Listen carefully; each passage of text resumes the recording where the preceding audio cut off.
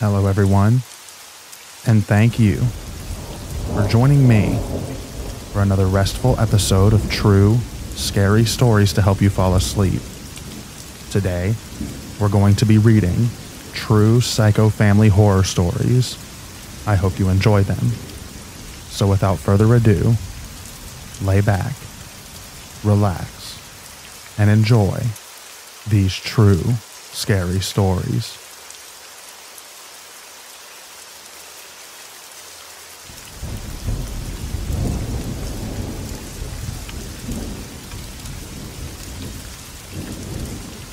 When I was around 10, Thanksgiving was hosted at my house. There was already some family drama between two of my aunts from years before.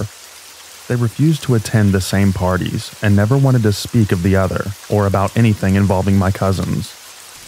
I was much older when I finally knew why. Apparently, Aunt A thought that Aunt B was trying to sleep with her husband when Aunt B denied the accusation, claiming that they were just good friends. Aunt A refused to ever speak to Aunt B again and vice versa. Anyways, Thanksgiving at my house this particular year, a truce was set and everyone was invited for dinner. Naturally, each aunt was in their separate corner with their kids, and each generally ignored one another. But there weren't any slight glances or whispered insults, so we had dinner in peace. Now the drama begins. Aunt B decided to leave the party first. She said her farewells and grabbed her kids to load them in the car. My mom, a few more aunts, and cousins went out with her to thank her for coming and being a good sport. Her eldest son, my least favorite cousin, was approached by a little girl walking his way from across the street. She said hello and asked if so and so was his dad. He said yeah, and she straight up said, He's my dad too. You're my brother. Dead silence. Everyone knew that it was true except for my aunt and her kids. The reason I didn't like this cousin was because he was just like his dad arrogant, stubborn, macho, etc. The apple did not fall far from the tree. Whenever her husband came to drink at parties without his wife, he'd laugh about all of his affairs and the hush money that he paid to keep the other kids fed. He mocked the man who was raising his kids as his own and who knew his wife was openly unfaithful. I had no doubts that my cousin would be just as scummy when he grew up. He made a disgusted face and told her that she was too dirty and full of fleas to be anything special. She started crying, and Aunt B called her a little liar and that she needed to go back home instead of spreading lies. She shoved my cousin in the car and drove away. The girl ran back home. We were all shocked into silence, but my mom was angry. She immediately went to Aunt A and demanded to know if she'd been the one to orchestrate everything. She denied it, but for someone who loved gossip, she was very cool about the whole thing. Everyone knew. After everyone left, I asked my mom why no one ever told Aunt B about her unfaithful husband and the other kids. But my mom told me that she'd known for a long time. I thought they'd get a divorce for sure after that day, but everything went on like it always did and my cousin still thinks that that girl is lower than dirt on his shoes.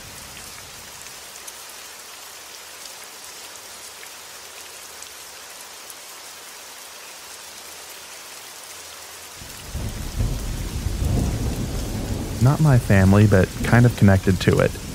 My dad and mom were invited to a friend's family Christmas get together, but they declined so they could stay in town. My dad loaned his car to his buddy, though, and thought that that was the end of it. On the news the next day, they recognized my dad's car, filled with dead children. Turns out the buddy's dad went kind of bonkers, shot everyone in the family as they were walking into the house for the Christmas get together, and strangled all of the children. He placed the adults' dead bodies in the living room and stuffed all of the children into my dad's car, the one that he loaned to his buddy, and the dad drove the car into a ditch. Dad and mom really dodged a bullet. But their good friend, whom they considered their brother, who died trying to save the children, did not.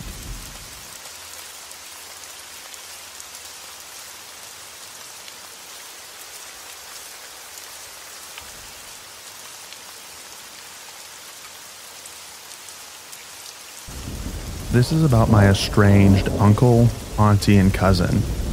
We didn't have any contact for something like 20 years because of a falling out between my dad and my uncle. Fast forward to last year, Auntie turns up at parents' house out of the blue without uncle or cousin. Tells us that uncle is dead after a prolonged illness.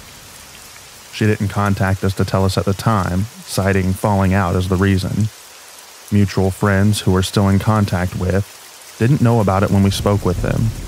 No contact during funeral arrangements. We ask about the illness, and we're given some story about a trip to Thailand several years earlier where Uncle is supposed to have gotten a tattoo and contracted hepatitis. Uncle developed a drinking problem, which affected his kidneys, and along with the hepatitis, resulted in organ failure. Told that there was no chance of a transplant because of alcohol problem. He was brought home to die, and did after a week or so. We asked about the burial arrangements. We were told that he was cremated and kept at home in an urn. We asked about the funeral, and we were told that the attendees were cousin, auntie, and her parents, and some non mutual friends. We speak with a friend of the family who's able to check the registration of the death. We can't find anything. We ask about this. We were told that the death was registered in a different county, so that must be the reason that our friend can't find Uncle's death on registry. So, friends and family had no idea there is no grave. Friend who works in a position to check for the death, having been registered, isn't able to find anything, and there was no sort of contact during the illness, the point of death or the funeral. Just an unannounced visit, nearly seven months after the fact. We only have her word to go on. Cousin wasn't present at the visit and ignored the contact that we attempted. Something seems messed up here.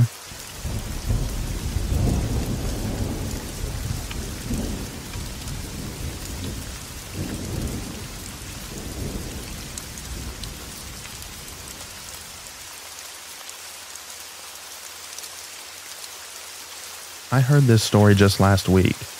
My great grandpa had four kids pretty young and was dealing with some depression due to how hard his life was. He left my great grandma out of nowhere when she was only 28, and years later she saw him again with his new wife and four new kids, with the same names. He pretty much made a whole new version of his old family once he had the money to support them. Their last name is now infamous to my family, and I've actually met a kid with that last name, and I've always wanted to ask who his great grandpa is, just to see if he's somehow related to me.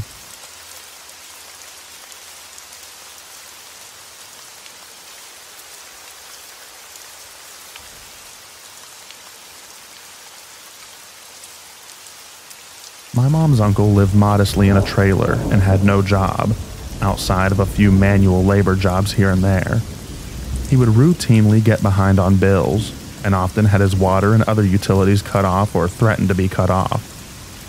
On several occasions, he would disappear to a large city three hours north of his home for a few days. Every time he came back, he had tons of cash. One night, over a poker game, some people were talking trash, and he mentioned that none of them had any idea what it was like to kill a man. One of the people there was my mom's cousin, who claimed that he overheard the conversation. Of course, they probed him for more info, but he wouldn't say anything else. Everyone in the family knew that he had a knack for coming into large sums of cash, but no one ever really knew how he got it, other than maybe poker.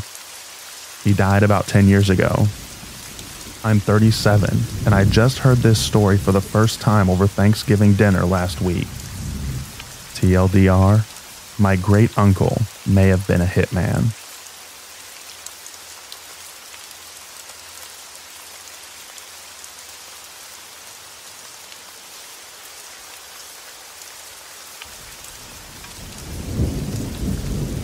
Sometimes a home can be a very unsafe place to be. My sister and I are about a year apart in age. I'm older than her. And we've been really close for as long as we can remember other than the typical sibling rivalry stuff, nothing too major. However, we were both raised by a single mom. Our mom was a decent mom, but she was a bit immature and distant at times. Between my mom working 40 to 50 hours a week and my sister and me at school, we barely saw her most times. Many times on the occasion that we would be at home at the same time as her, she would have some new boyfriend with her. Most of the guys that she brought back were normal guys. One of them even helped me improve my baseball throwing and batting, but that's another story for another time. One time when I was 11 and my sister was 10, my mom brought home a guy named Ken. Not his real name, the name has been changed for reasons that will soon become obvious. My sister and I get a seriously bad vibe from Ken as soon as he enters the house.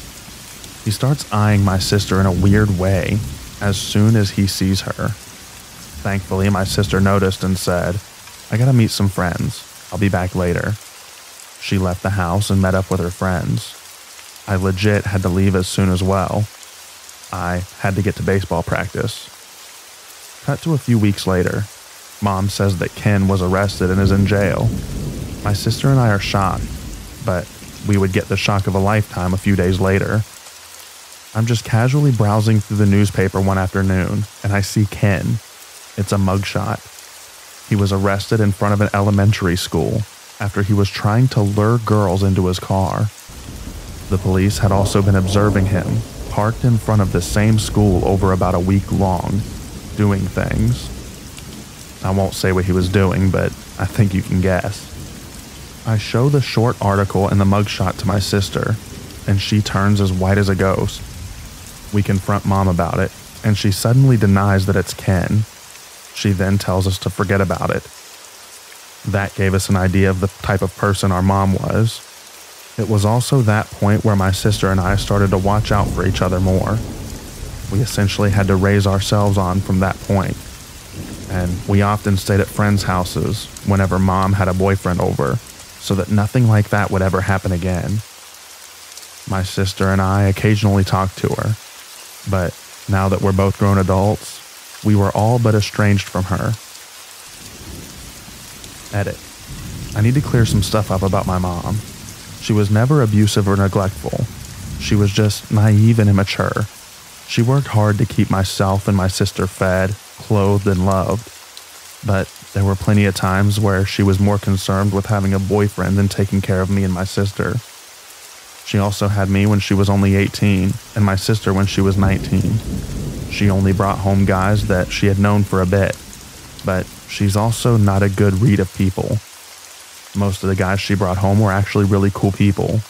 The aforementioned guy at the beginning of the story who helped me out with my baseball skills, for example. This was an experience that my sister and I look back on and we learned to be better because of it.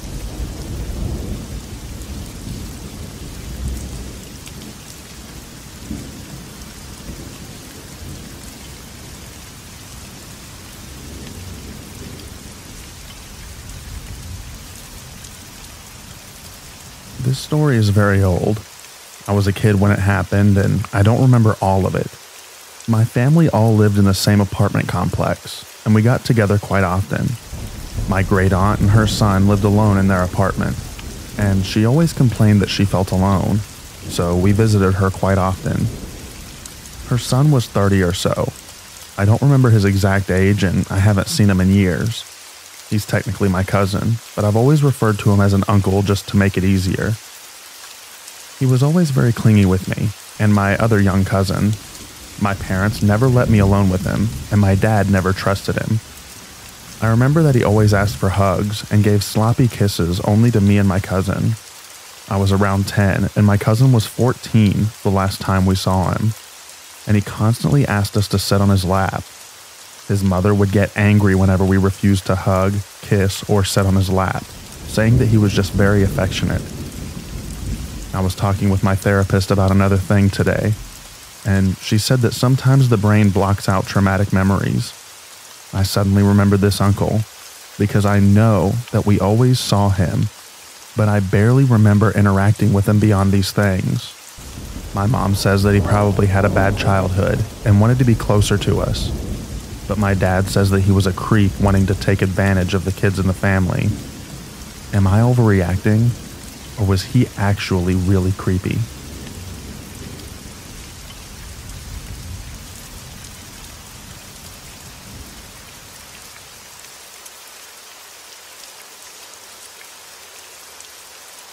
Shortly after my 18th birthday, my mom's boyfriend, with whom we had been living for about four years, offered to throw me a graduation party. I should mention that he also has a bio daughter my age, who has the same name as me, but she was off at college at the time. The party was sweet, but all the underage drinking and drugs landed me into some trouble by the end of it. I had my phone and laptop taken away by my mother. This annoyed me because I was a legal adult at the time and they didn't own any of the devices that they'd taken from me. Her boyfriend was angry too, and I was banned from using the landline. Things took a dark turn when about a day or two later, her boyfriend shows up at my bedroom door. He tells me that they had paid someone to hack my phone and laptop, giving them access to my iCloud, Snapchat, photos, messages, etc. And immediately starts with, I didn't know that you looked so nice under those clothes. I became immediately uncomfortable, knowing that he had been sorting through private messages and footage of me, the majority of which were taken while I was underage. He continued shouting obscenities and cornered me in my bedroom until my mom came up to watch. She was visibly disappointed naturally, but I felt my heart break in two as she stood idly by, staring at me in disgust as her boyfriend commanded that I get on my knees. I was in total disbelief. The man was a creep and she did nothing. While nothing actually happened and there was no violence involved, the event left me traumatized. Fast forward four years later, I was never able to regain access to my accounts because the passwords were changed, and I've not seen my mother since. I've been noticing for about a year up to this point that I was consistently receiving emails from Snapchat about somebody trying to log into the account that I no longer had access to. Plenty of inappropriate content on there from when I was 14 to 17 years old. I knew it was him. Finally, I emailed Snapchat, and they gave me access to the account again. I changed the password and info. Still, like clockwork, I get these emails notifying me of attempted logins. The creepiest part to me is that clearly you don't know the login, so why try again and again? Bordering on deranged behavior, in my opinion. My mom has been trying to get in contact with me recently, but she's still dating and living with the guy. Her mental state has always been questionable, but knowing that she sees nothing wrong with her full blown pedophilic creep of a boyfriend is eerie to me and unsettling. In hindsight, the red flags were always present over the years. Whenever I or his underage daughter had friends over to swim or hot tub, he always felt at liberty to comment on how we looked in our bathing suits, which resulted in major discomfort. But mostly went over our heads as we were so young. And yes, my mom was present on many of these occasions, and never did much more than laugh along or give him a playful slap on the wrist.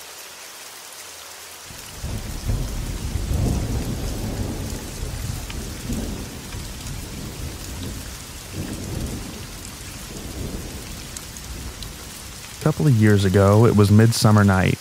Me, my fiance, and our two best friends. We four are the best friends gang in our own clan. We were in my parents' house spending the night. Well, back then it was my house too. We were in the room, staying up late having fun. My parents and my older brother were in some kind of party all together drinking. Suddenly, my sister comes from her room to tell us to leave that our older brother called her and told us to leave right away. I thought it was stupid. We were just about to go to sleep. I called our brother and demanded the reason. He said that dad had punched mom and was coming home. He said he wasn't going to let him punch us too. We were thinking about where to go. My fiance's parents were already asleep. They had a very loud dog and there wouldn't be enough room for all of us. One of our other friends was visiting us from another city, so they didn't have any place to go. This one friend left had an apartment their dad owned, but they needed permission to use it. But this was an emergency, so we went there anyway. In the middle of the night, I packed my car with pillows, clothes, toothbrushes, and drove us all to this apartment. It was like 4 a.m. or so. I was shaking and I wasn't able to sleep. I didn't know what to do. Next day, my mom had a bruise on her face, but we never talked about it again. Never. Nothing. I still don't know if that bruise was made by my dad, why dad got angry, what he would have done to me if we wouldn't have left. And those who wonder, my sister got a ride from her boyfriend, and yes, she was safe too.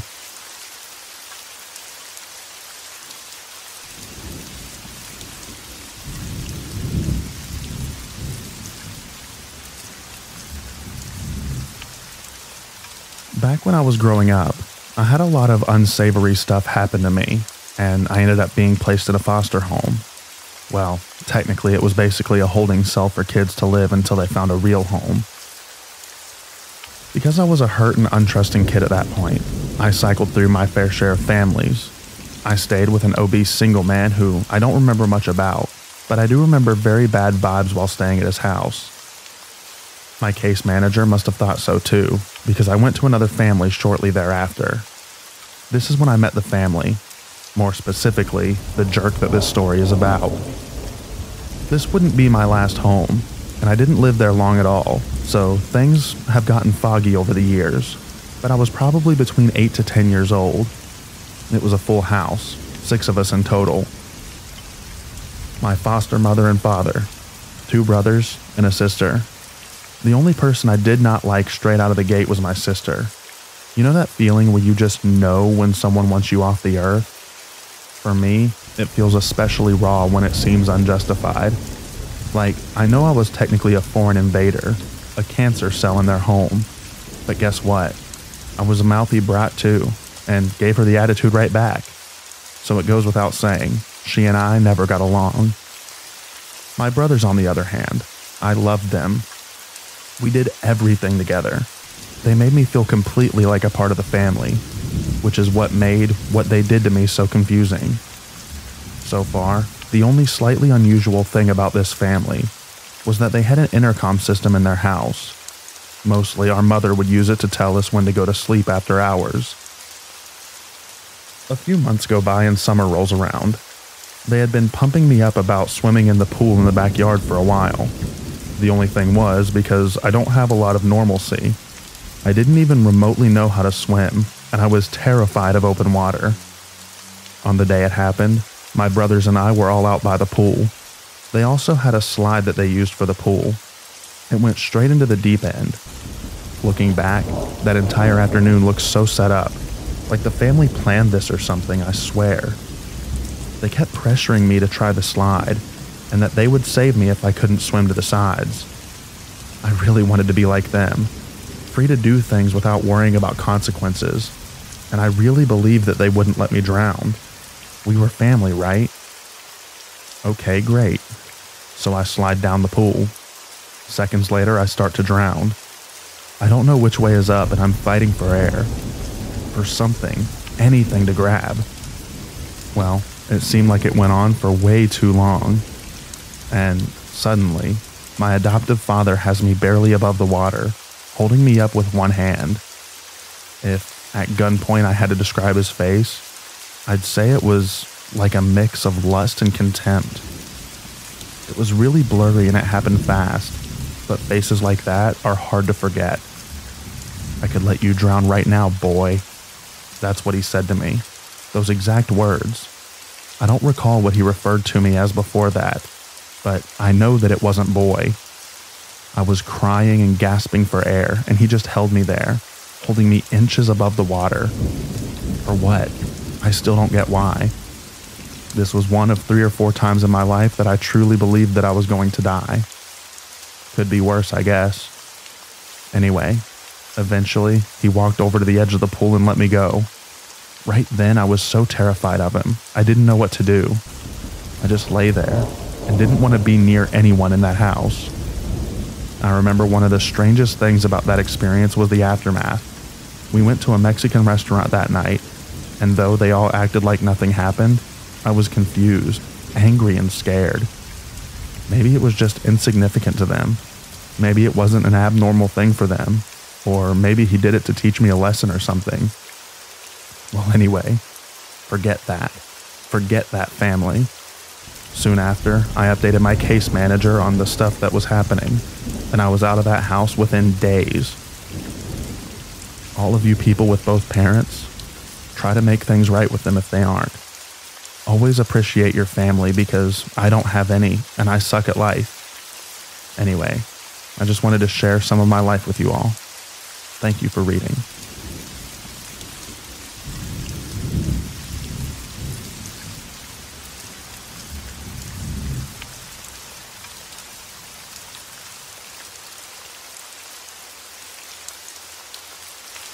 I'm a 22 year old female. My mother is 47, and she's been divorced from my father for about six years.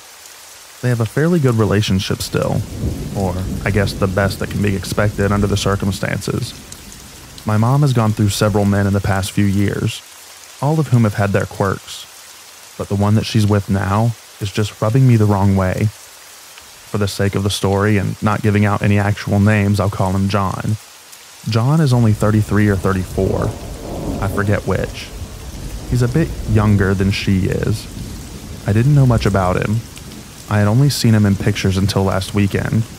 He looks nothing above average. Nobody that would throw up red flags.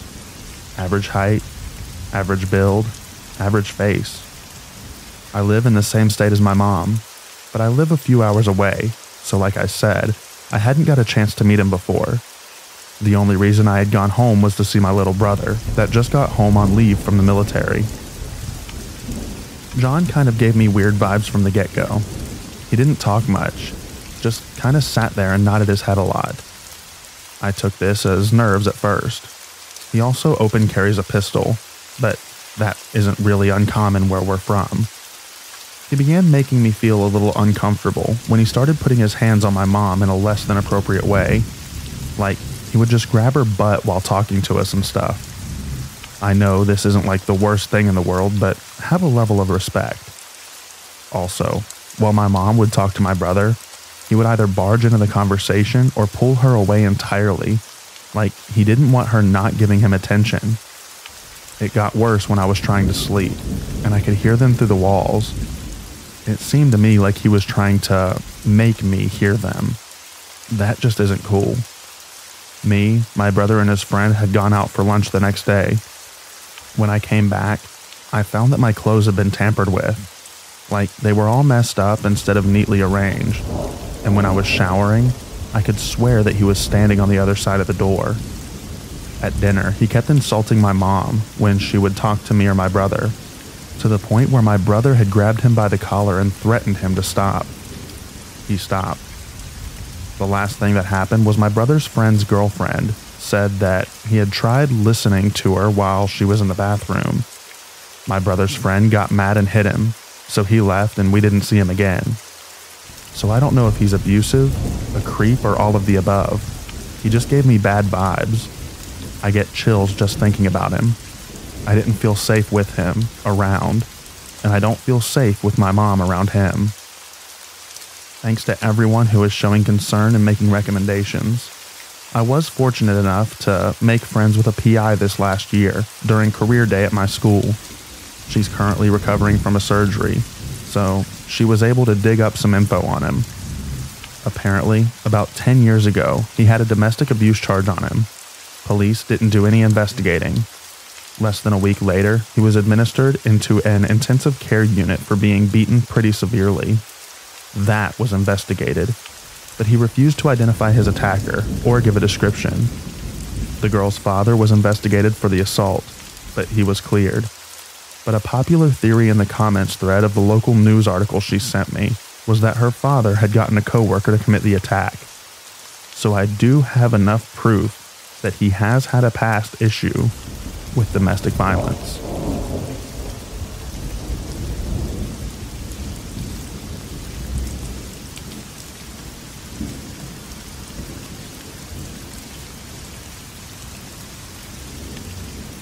This happened when I was 17 and still in my senior year of high school.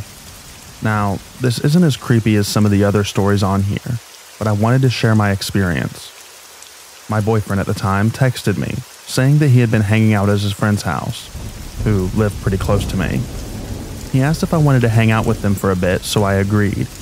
He picked me up around 8 p.m., and he drove a couple of miles away from my house to a mobile home park. He parked in front of a pretty large sized mobile home. I felt a little uneasy because this mobile home park wasn't in the safest neighborhood. The place itself looked a little run down, just like the rest of the homes here. We entered through the right side door up the small stairs in the carport. Directly in front of you, when you first walk in, there's a kitchen and a dining room. If you look to the left, there's the living room that's located in front of the home. If you look towards the right, there were doors to the bedrooms and bathroom. This was probably the biggest mobile home I've been in. It was a bit messy. There were a sink full of dishes, kitchen table piled up with junk, beer bottles everywhere. The living room had a coffee table full of weed, pipes, bongs, pill bottles, etc. Just a bit of backstory. My boyfriend at the time had a bit of a drug problem that later on became worse before you judge of me. I wasn't aware of the severity at the time. I thought that he occasionally partied and experimented, which is sadly really common in the small town that I grew up in.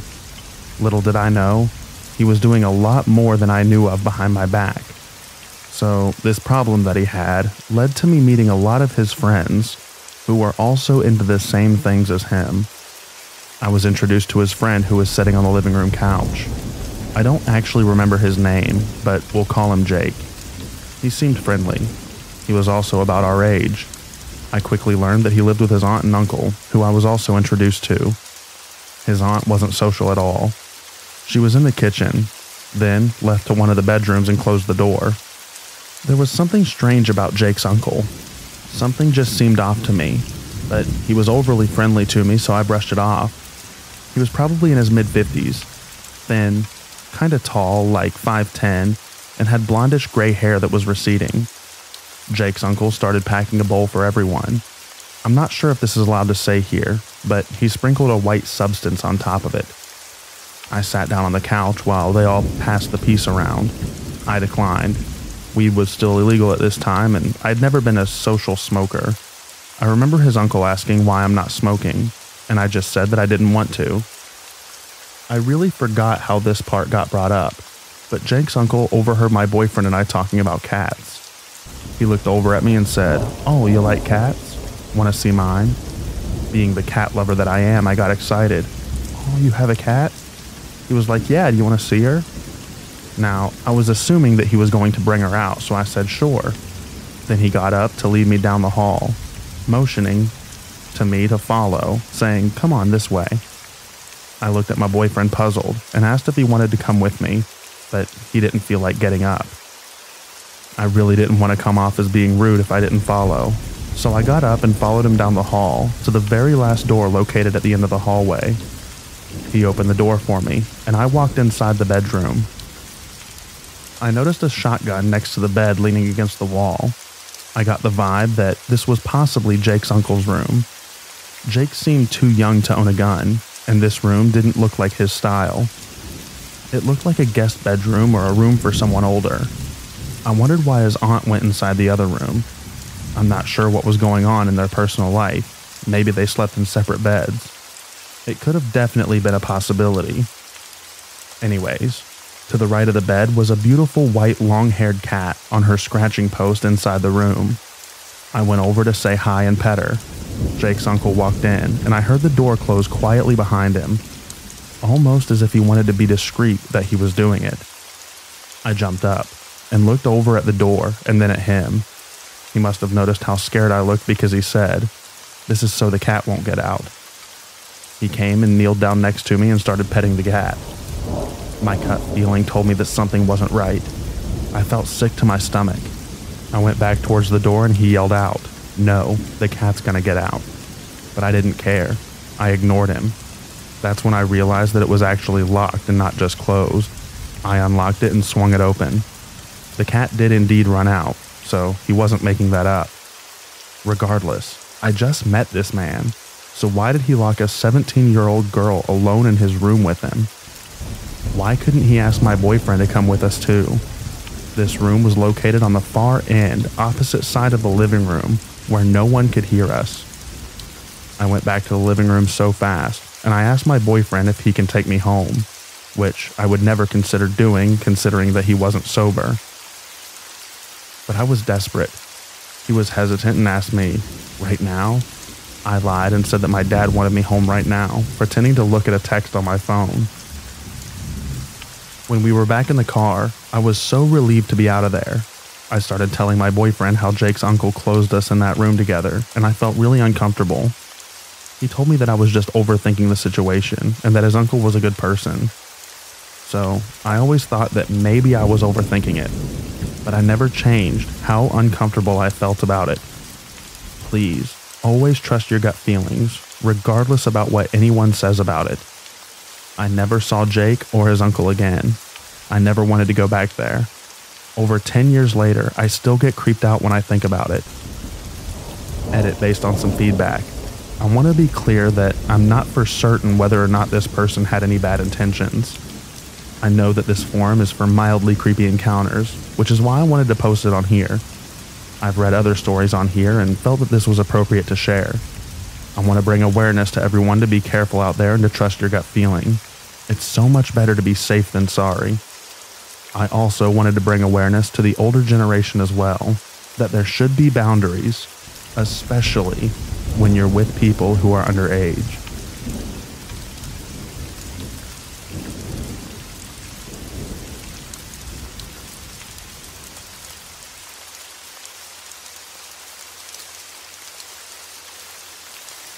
When I was 15 years old, my great uncle passed away due to a sudden heart attack. Me and my father had to clean out his house since no one else in the family wanted to. My great uncle was very much loved by us all, and was, well, really one of the nicest and most loving out of us all. My father was just as broken up about losing him as everyone else, but the job had to be done, so we got there early in the morning to get it done. His house was very neat and well organized, so it would be done in a day or two tops. I remember as a kid, we would always play over at his house when my dad had to work. He would let us play anywhere in the house but the attic. He made it very clear to us that going up and down the ladder to the attic was very dangerous. Therefore, we never went up there and never thought anything of it, even though he would go up there sometimes for about 30 minutes and then come back down, never actually bringing anything down with him or taking anything up there. Well, anyway, while we were cleaning, I decided to finally go up to the attic just to see if there was anything up there. It was completely empty up there except for two boxes that were tucked away in a corner. Thinking nothing of it, I picked up the dusty boxes and took them downstairs. Once I got to the living room, I opened them, expecting to see some papers because the boxes were so light. Instead, I found all of these pictures. I'm talking hundreds and hundreds of pictures of what I could tell were three different women, all from angles where you could clearly tell that they didn't know that they were being photographed. He had pictures from daytime to night and from multiple locations. Some they were undressed in, and others were just of them doing everyday things like cleaning and cooking. With every picture I looked through, my heart started to beat faster and faster. Looking closer, I realized one of the women was his wife, who had passed several years earlier. I looked on the back of the pictures, and they were named. I didn't want to freak my family out, without knowing exactly what I was looking at. So, out of curiosity, I Googled the other two names and found one of the ladies on Facebook. So, I know that this is messed up to say, but I was glad to see that she was alive and okay. Once finding that out, I showed the pictures to my dad, and he was just as shocked as I was. He took the boxes, and I've never seen them again. We never spoke of it again. Still, Every once in a while, I find myself wondering why he had those pictures, and if he took them himself or had someone else take them. I love my great uncle very much, and couldn't imagine him being anything less than a stand up guy. I don't know what to think, to be honest. I know that this might not be a scary story, but it most certainly freaked me and my father out pretty bad.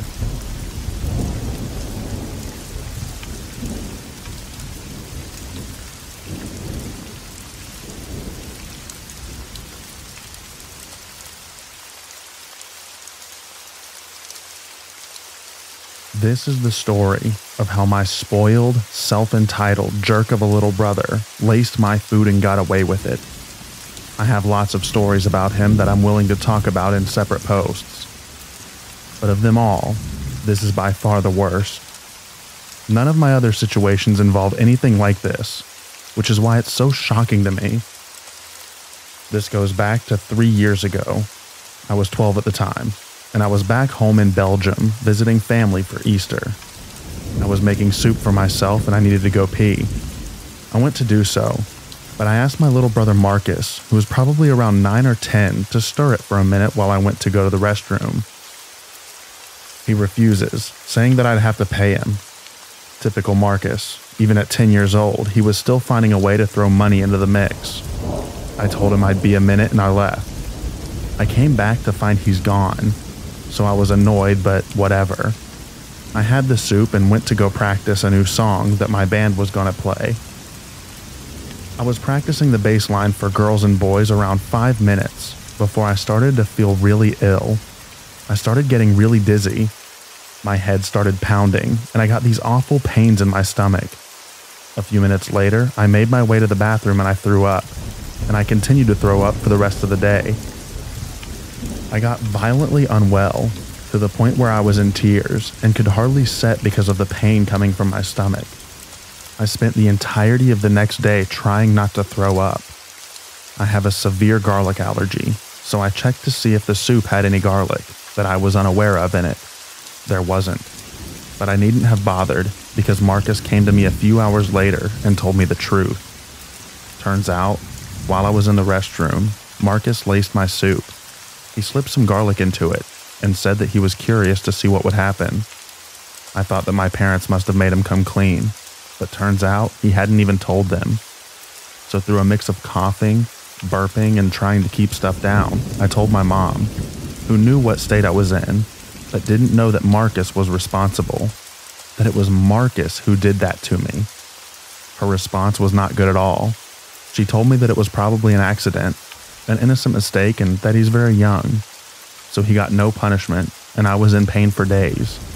He never apologized, and still hasn't now. I've also made sure that he's not in the room when I'm cooking anything.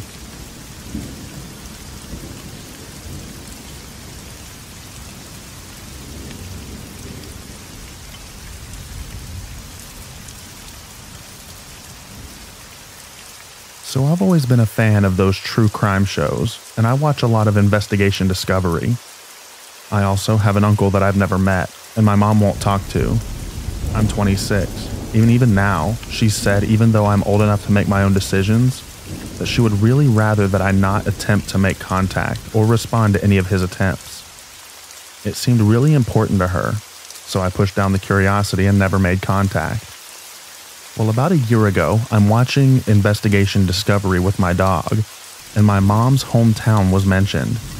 I decided to call my grandpa when the episode ended to ask why he never told me about a full on murder in his exceptionally small town, knowing full well that I'm interested in that stuff. Well, it's moving along when I hear a name that I recognize. I'm trying to place this name, wondering if they've commented on my grandma's Facebook or something. It didn't take long for that name to click. I'd heard it before because it's one of my uncles. Holy cow, right? Turns out, they caught on to my uncle's name because he'd robbed a chain of convenience stores with this guy who'd murdered his wife. The murderer also crashed at my uncle's place afterward. After being pressed by the police, it turns out that my uncle had helped plan the murder. I texted my sister as this was playing out and agreed to never tell mom that we knew. After 20 plus years of wondering why my mom was so adamant about me not having anything to do with the guy, it all made sense. Obviously, when all was said and done, I did some digging online, and he had an extensive record of some exceptionally shady stuff.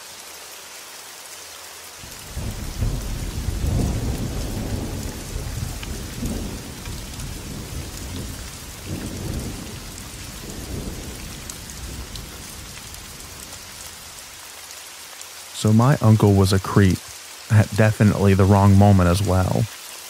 Our family was grouped together back in 2019 over the remorse of losing my Nan. He started talking to me about what I was wearing and that I lost weight. I was wearing a nice black dress with a white cardigan and black leggings. I'm sitting next to my dad, who is also visibly uncomfortable. My uncle has always been close to us, but he never really spoke with me, you know? He starts talking about my hair and that it was a shame that I cut it and blah blah blah. I was visibly confused. I was just here for a free meal and to feel sad about my Nan's death with my mom, who was going through a rough time. He starts talking more and more to me about fishing and how he's going to take me out fishing with him and his girlfriend. I was more set on how his girlfriend tried to murder him, and now they're back together. I noticed a bit how he looked at me I just kept getting more and more uncomfortable until he put his hand on my thigh. I moved seats, as in, I swapped with my dad, and then on, I just comforted my mom.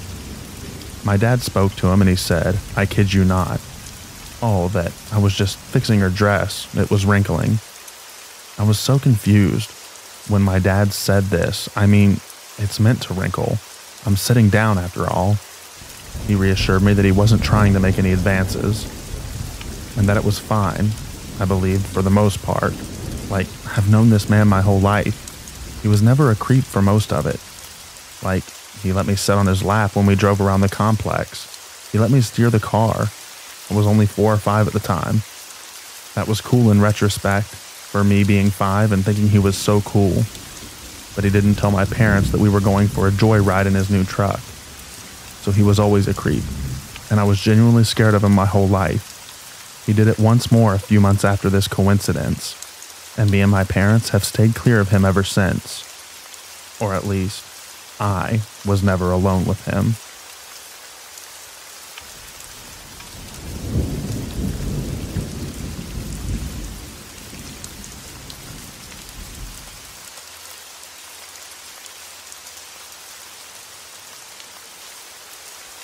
When I was 14, my aunt and uncle hosted a family reunion.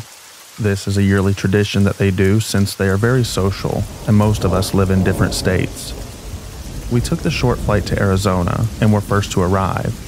We brought our dog and introduced my cousin's dog to her. Us kids played on our older cousin's Xbox as our parents talked and gossiped in the kitchen as more relatives piled into the house. Eventually, most of the family had arrived and the house had gotten significantly louder. My younger brother, who was a very loud person, was screaming on the bouncy house with my other younger siblings and younger cousins. It was somewhere around the afternoon when we were all feeling pretty hungry. My older cousin asked his mom when food would be ready. However, she said it would be another hour. We were kids, and kids don't take no for an answer. So we hatched a plan for my older cousin to secretly drive to a store buy some chocolate, and drive home. But our younger siblings wanted to go. We decided me, my older cousin, his younger sister, and my younger sister would go, and the others would stay at home in case anyone thought it got too quiet. We made our journey to the nearest store, and my older cousin bought some chocolate. For some reason, I was standing outside the car watching the store when this woman approached me. She asked me some pretty normal questions like, Are your parents inside the store and are you alright? I answered with a simple yes and waited for her to leave. However, she did something I didn't expect. She grabbed my arm firmly and dragged me towards a lone black car parked on the other side of the parking lot. I froze, not knowing what to do, and just look up at her. That's when I heard my cousin scream, Hey, what are you doing? The woman promptly let go of me and just drove off. I jumped into the car and we floored it back home. Being dumb kids, we didn't tell our parents about this incident. And now that woman is roaming free.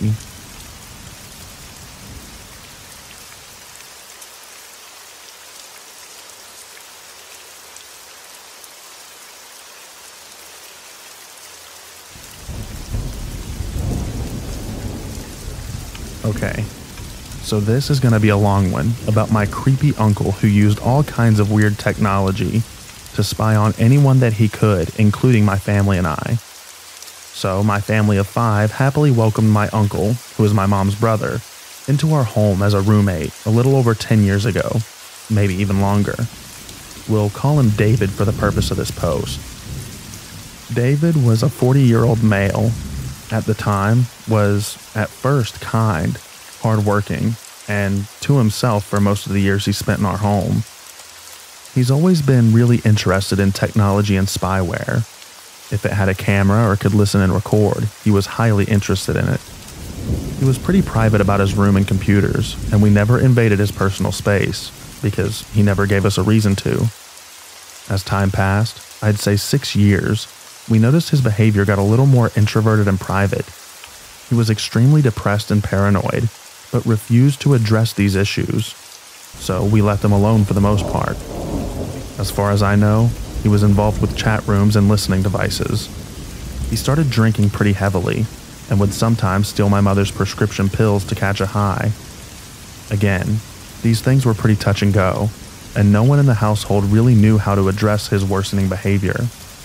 My dad would occasionally question him and his actions.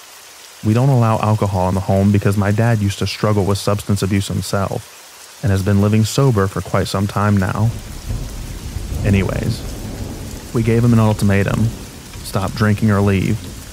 This worked for some time, but he would just hide from us when he drank, lock himself in his basement room for hours, sometimes even days. We knew he was drinking though, because at random hours of the day, you could hear anger fueled screams coming from his room in the basement level, or loud techno music that would thump until 12 a.m. The last two years specifically have been really hostile and strange between him and our family. Anytime he would return home, he'd be highly intoxicated and ready for bed. None of us would interfere because it wasn't uncommon to get into an argument with him about his odd behavior and heavy drinking. He became really hostile towards myself, a 19 year old female at the time, and father, who was 45 plus years old. He would purchase a lot of strange devices designed for listening or watching, which made us all intensely uneasy and on edge. My father told me once that he came home with these new sunglasses and excitedly told my dad that they're great for watching people and that he'd spent the whole day at the park lurking on strangers.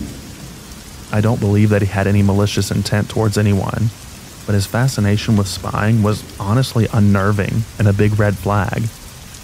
We demanded that he leave and seek residence elsewhere, gave him a deadline, and even offered him help finding a new place to live. He ignored us for weeks and pretty much just refused to leave our home. My mother didn't know how to handle the situation, especially because it was her brother. She feels like we've betrayed family or forsaken him. Anyways, it wasn't uncommon to find small, strange devices around the house that were absolutely unexplainable if you've never seen them before. Things like movement tracking devices, infrared cameras, or mics that would record any audio that occurred in the room it was placed in. He also had control of our Wi Fi, and I'm positive that he had access to our browser search histories or Wi Fi related information in general. If we confronted him about his behavior or asked him to pack up and leave, he would threaten us. I see everything you do. I heard what you said the other night. Although, never knowing what kind of information he was trying to blackmail us with, we were all very uncomfortable with the idea of our privacy being breached. Not having anything to hide, though, his threats were pretty hollow and ineffective. My dad wanted to test David and see if he was using devices at our home while he was away from the house. My dad would wait for David to leave in the morning and go to work. My dad would then shut the Wi Fi off, sometimes even the power breaker, to see if he would react while away from the house. Sure enough, David would return to our house immediately and question him Why is the Wi Fi off? Why is the power off? My dad would ask him how he knew the Wi Fi had been off while he was away from the home. Strange behavior, needless to say. Each time my dad did this, he would return to the house immediately to recover the Wi Fi and his devices. If he was home and the Wi Fi went down, this man would have an ultimate tantrum. Everyone would undergo a serious interrogation and be bombarded with accusations involving the Wi Fi not working. He began threatening my dad specifically and would show him this weird spyware that he had purchased. David would place the device against the wall and could hear anyone speaking throughout the home so much as faint whispers could be heard from the device. David wanted us to know what he could hear, and everything that we were doing. It was his scare tactic in order for him to remain in the house with us. When he continued to refuse to leave our home after being given a proper eviction notice, we had to seek assistance from the police slash court to have him legally removed from our home. We also changed all the locks in our home to prevent any unwelcome visits from David. Anyways, he's been out of our home for nearly six months, and we're still experiencing strange things that have us all on edge of our seats. Strange faint beeps from different areas of the house, unknown Bluetooth devices that are supposedly 10 meters or less away, and wires that run all around the house. I think we're all just paranoid from his consistent spying over the years but sometimes I still come across strange, unidentifiable devices around the home. Most of them look inactive and not in use, but I end up smashing them regardless. David tried to insist that we keep his Wi Fi in service after he left, but we had no interest in using his Wi Fi and immediately removed his router from our home. I discovered that David had climbed through one of our backyard basement windows into the home at some point. I only noticed someone had been in the backyard because of a fresh snow which revealed his enormous boot like footprints. The night that the snow fell, no one was home until later hours. My brother had moved out nearly two months before. My mother returned home from work at 3 a.m. My dad returned home around 12 a.m. My sister had been staying at a friend's house for the weekend, and I returned home at 7 a.m. after work.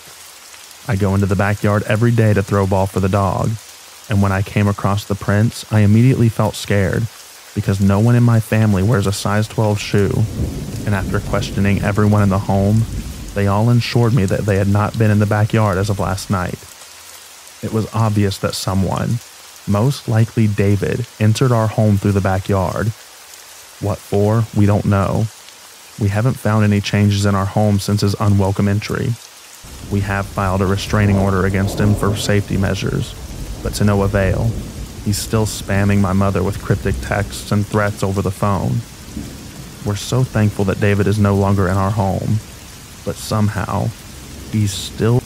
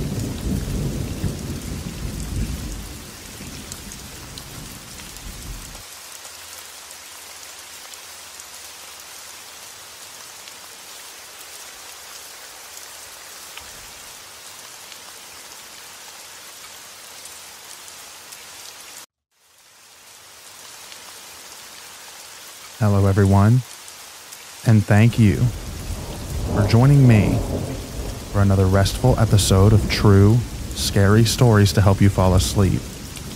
Today, we're going to be reading true psycho family horror stories. I hope you enjoy them. So, without further ado, lay back, relax, and enjoy these true, scary stories.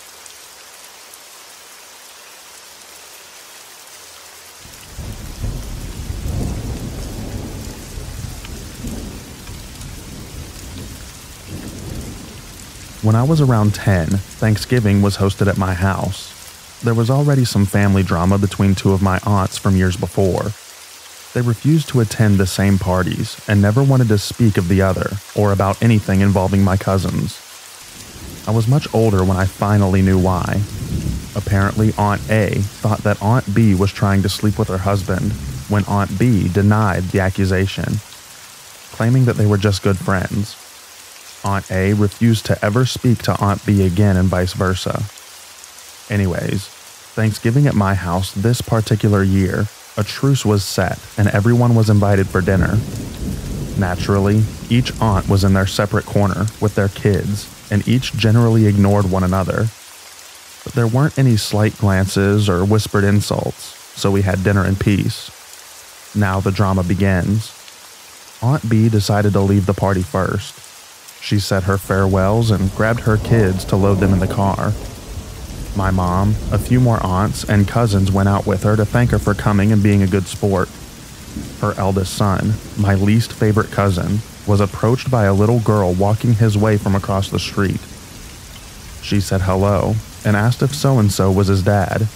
He said yeah, and she straight up said, He's my dad too. You're my brother. Dead silence. Everyone knew that it was true except for my aunt and her kids. The reason I didn't like this cousin was because he was just like his dad arrogant, stubborn, macho, etc. The apple did not fall far from the tree. Whenever her husband came to drink at parties without his wife, he'd laugh about all of his affairs and the hush money that he paid to keep the other kids fed. He mocked the man who was raising his kids as his own and who knew his wife was openly unfaithful. I had no doubts that my cousin would be just as scummy when he grew up. He made a disgusted face and told her that she was too dirty and full of fleas to be anything special. She started crying, and Aunt B called her a little liar and that she needed to go back home instead of spreading lies. She shoved my cousin in the car and drove away.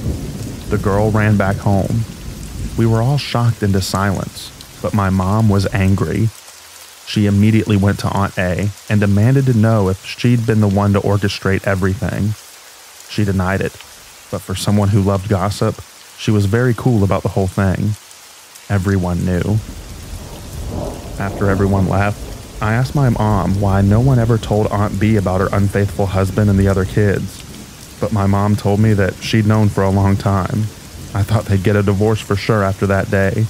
But everything went on like it always did. And my cousin still thinks that that girl is lower than dirt on his shoes.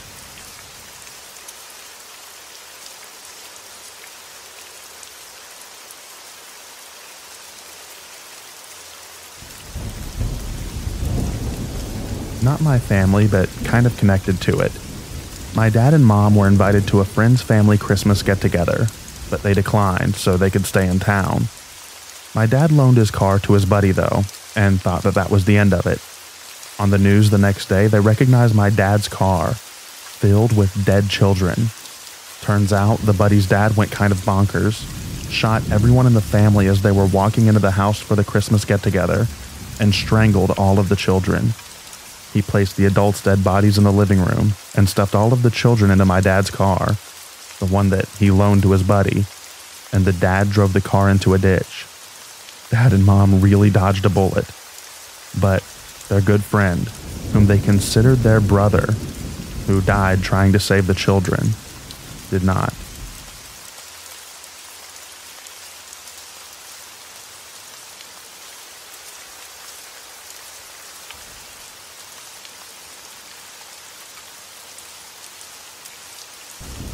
This is about my estranged uncle, auntie, and cousin. We didn't have any contact for something like 20 years because of a falling out between my dad and my uncle. Fast forward to last year, Auntie turns up at parents' house out of the blue without uncle or cousin. Tells us that uncle is dead after a prolonged illness.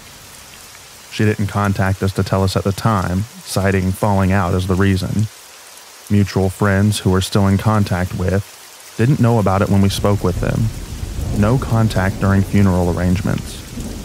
We ask about the illness, and we're given some story about a trip to Thailand several years earlier where Uncle is supposed to have gotten a tattoo and contracted hepatitis. Uncle developed a drinking problem, which affected his kidneys, and along with the hepatitis, resulted in organ failure. Told that there was no chance of a transplant because of alcohol problem. He was brought home to die, and did after a week or so. We ask about the burial arrangements. We were told that he was cremated and kept at home in an urn we asked about the funeral, and we were told that the attendees were cousin, auntie, and her parents, and some non mutual friends. We speak with a friend of the family who's able to check the registration of the death. We can't find anything. We ask about this. We were told that the death was registered in a different county, so that must be the reason that our friend can't find Uncle's death on registry. So, friends and family had no idea there is no grave. Friend who works in a position to check for the death, having been registered, isn't able to find anything, and there was no sort of contact during the illness, the point of death or the funeral. Just an unannounced visit, nearly seven months after the fact. We only have her word to go on. Cousin wasn't present at the visit and ignored the contact that we attempted. Something seems messed up here.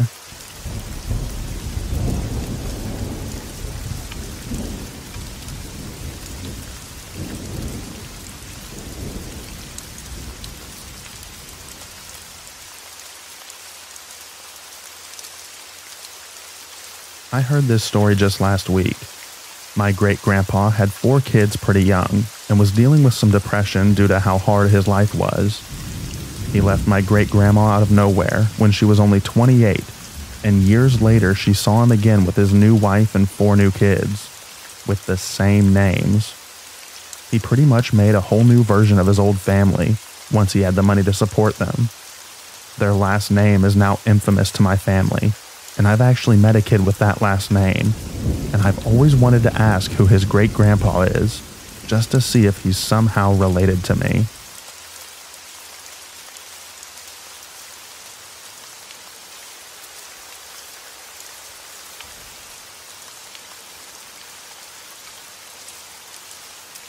My mom's uncle lived modestly in a trailer and had no job, outside of a few manual labor jobs here and there. He would routinely get behind on bills and often had his water and other utilities cut off or threatened to be cut off. On several occasions, he would disappear to a large city three hours north of his home for a few days. Every time he came back, he had tons of cash. One night, over a poker game, some people were talking trash, and he mentioned that none of them had any idea what it was like to kill a man. One of the people there was my mom's cousin, who claimed that he overheard the conversation.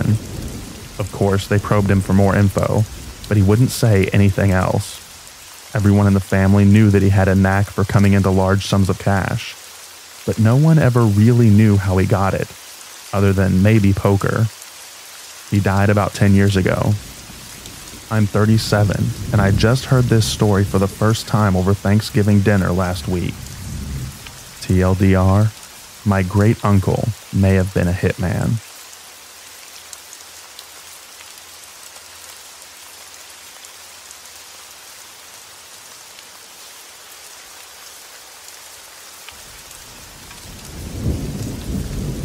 Sometimes a home can be a very unsafe place to be. My sister and I are about a year apart in age. I'm older than her. And we've been really close for as long as we can remember other than the typical sibling rivalry stuff. Nothing too major. However, we were both raised by a single mom. Our mom was a decent mom, but she was a bit immature and distant at times. Between my mom working 40 to 50 hours a week and my sister and me at school, we barely saw her most times. Many times on the occasion that we would be at home at the same time as her, she would have some new boyfriend with her. Most of the guys that she brought back were normal guys. One of them even helped me improve my baseball throwing and batting, but that's another story for another time. One time when I was 11 and my sister was 10, my mom brought home a guy named Ken. Not his real name, the name has been changed for reasons that will soon become obvious. My sister and I get a seriously bad vibe from Ken as soon as he enters the house. He starts eyeing my sister in a weird way as soon as he sees her. Thankfully, my sister noticed and said, I gotta meet some friends. I'll be back later. She left the house and met up with her friends. I legit had to leave as soon as well. I had to get to baseball practice. Cut to a few weeks later. Mom says that Ken was arrested and is in jail. My sister and I are shocked, but we would get the shock of a lifetime a few days later. I'm just casually browsing through the newspaper one afternoon and I see Ken. It's a mugshot. He was arrested in front of an elementary school after he was trying to lure girls into his car. The police had also been observing him, parked in front of the same school over about a week long, doing things. I won't say what he was doing, but I think you can guess. I show the short article and the mugshot to my sister, and she turns as white as a ghost. We confront mom about it, and she suddenly denies that it's Ken. She then tells us to forget about it. That gave us an idea of the type of person our mom was. It was also that point where my sister and I started to watch out for each other more. We essentially had to raise ourselves on from that point. And we often stayed at friends' houses whenever mom had a boyfriend over so that nothing like that would ever happen again. My sister and I occasionally talked to her, but now that we're both grown adults, we were all but estranged from her. Edit. I need to clear some stuff up about my mom. She was never abusive or neglectful. She was just naive and immature. She worked hard to keep myself and my sister fed, clothed, and loved. But there were plenty of times where she was more concerned with having a boyfriend than taking care of me and my sister. She also had me when she was only 18 and my sister when she was 19. She only brought home guys that she had known for a bit, but she's also not a good read of people. Most of the guys she brought home were actually really cool people. The aforementioned guy at the beginning of the story who helped me out with my baseball skills, for example. This was an experience that my sister and I look back on and we learned to be better because of it.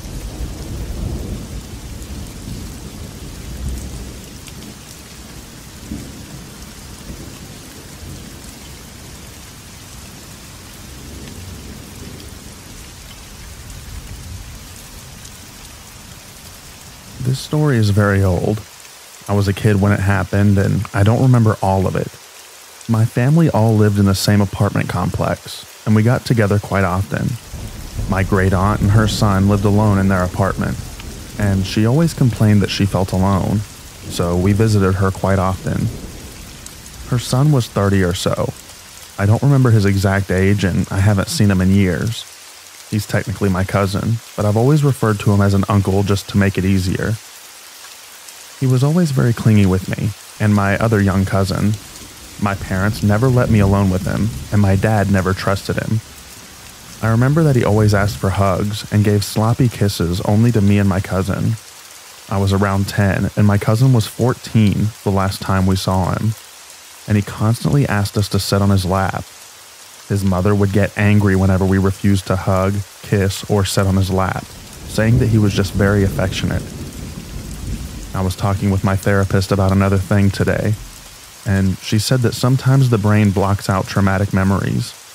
I suddenly remembered this uncle because I know that we always saw him, but I barely remember interacting with him beyond these things. My mom says that he probably had a bad childhood and wanted to be closer to us, but my dad says that he was a creep wanting to take advantage of the kids in the family. Am I overreacting? Or was he actually really creepy?